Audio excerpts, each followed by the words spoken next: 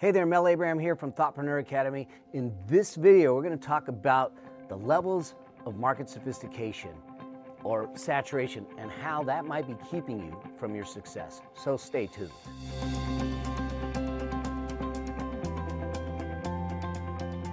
Let me tell you, tell you a story about a guy by the name of Eugene Schwartz. Um, he wrote a book in 1966. Now, I know it's an old book, uh, it, but it is a treatise that still is followed today. It's what built Ogilvy and some of the great advertisers of, of the times.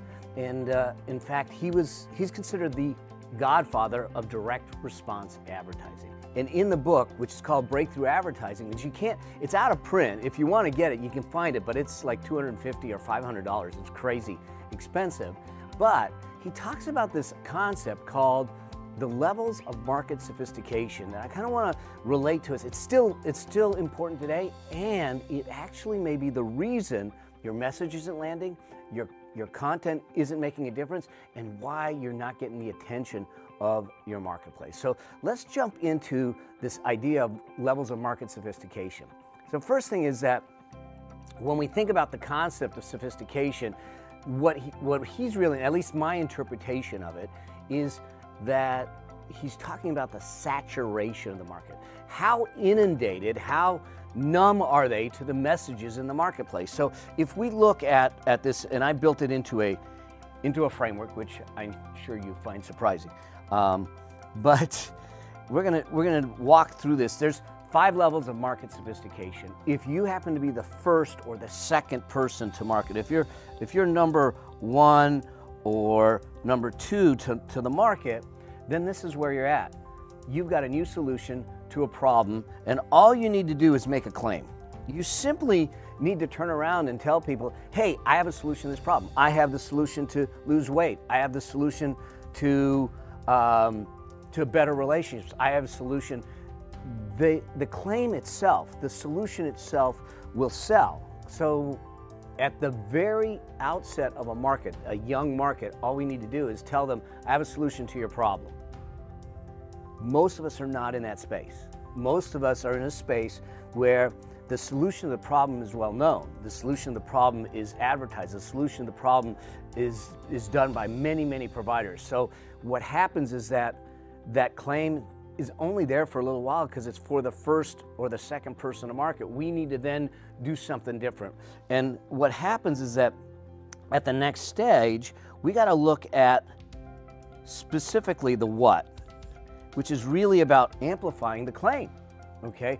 Actually elevating the claim. So it would be something like in weight loss, it would be something like like lose weight in 30 days. So I'm making the same claim, but I'm elevating it. I'm making it actually even even broader. Now it needs to be believable. If it's not believable, I mean, again, uh, it won't work. So it could be how to stop your baby from crying. Get your baby to to sleep through the night in in the next five days.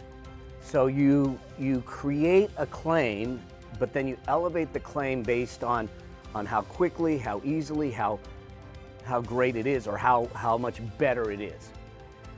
That's the second level of market sophistication. So you got to ask yourself if you're in your market, are you at a place where there's claims out there and you need to elevate your claim?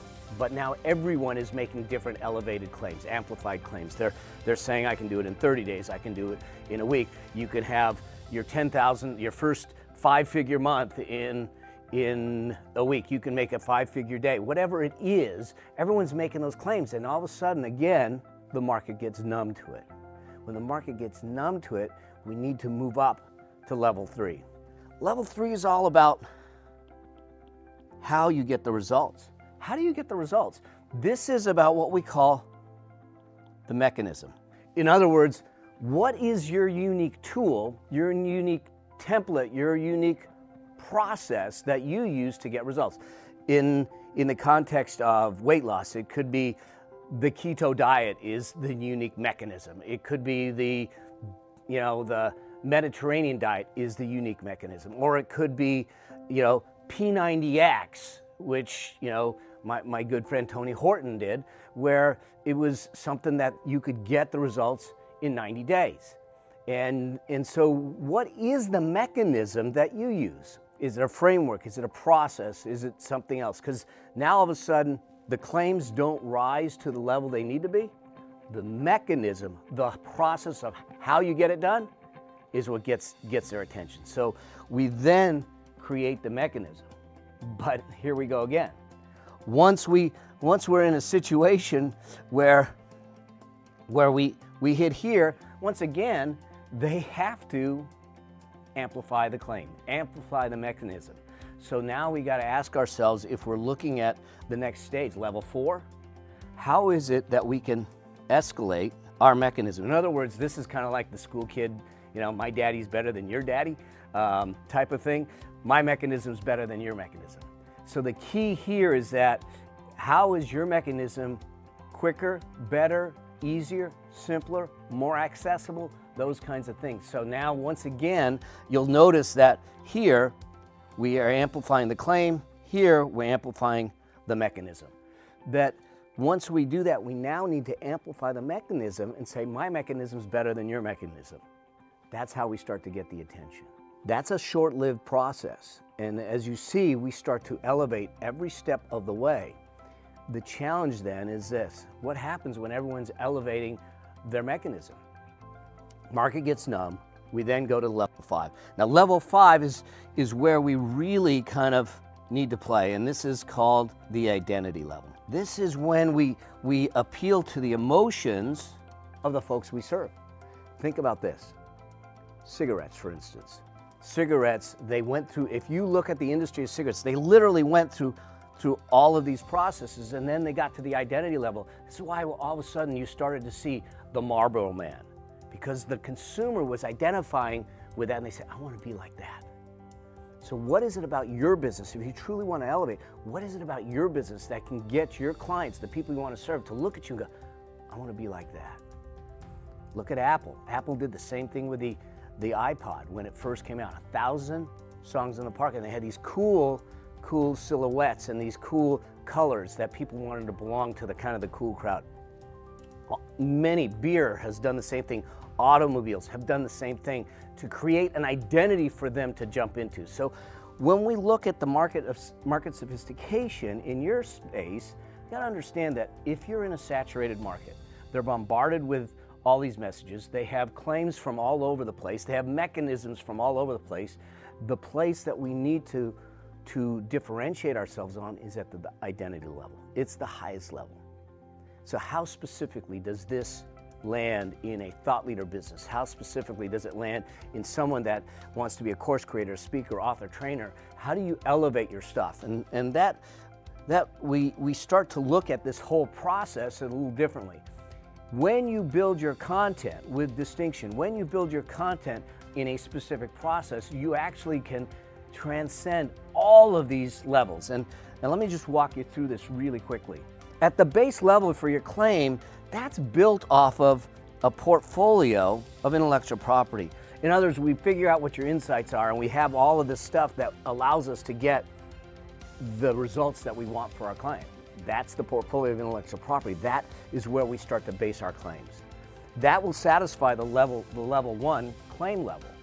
We still need to go through the rest of the levels. The, the level two is is really about amplifying the claim, which is about your process, your proprietary process. So, how do you create a process to get them the results you want? And, and I know that we said the mechanism is the process, but hold out for a second because when we get to this next stage, you'll understand what your mechanism should be. In a thought leader space, in a difference maker space, level three, your true mechanism is a framework. Now you have a framework that's memorable, that's deliverable, that, that makes complex things easy to understand. So you've got a framework in place that makes makes that happen. Then level 4 is all about how you position yourself, your framework and your result in your marketplace. So it's all about positioning, it's all about messaging, it's all about about how that's positioned in that unique space.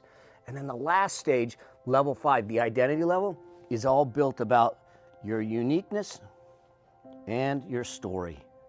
People will get attracted to your story. People will get attracted to your uniqueness. So, in the thought leader space, this is how this, this plays out. Yes, the book was written in 1966, but it still holds true, true today. And it's still important for you to understand that if your market is at a level of saturation or sophistication where you've got to play at that higher level, we need to build your content in a distinct way, like I'm saying here, to make it stand out, which means that you need to have all five layers in place the portfolio of IP, the process, the frameworks, the positioning, and the story. That's why we built the Legacy Maker formula the way we did. We have distinction, we have reach, and we have prescription to allow you to build that difference maker business. And, and so this is the understanding, the foundational understanding of why the process is important, why it's important. We still need to get it built. So in order to help you with that, here's what we're gonna do. I'm doing a special free training that I want to invite you to. And so look for the link somewhere around this video and go ahead and register for, for that special training. We'll go deeper on the Legacy Maker formula. We'll go deeper on the concepts here. We'll give you some of the tools that you need to be the difference maker you want to be, to have the impact you deserve to have, and to have the income that you truly want. See you there. Saturation, depending how you look at it. So stay tuned. Want to redo that? Because they don't know what that is. That you want to want to have in your, ah, and to have the income that you truly want.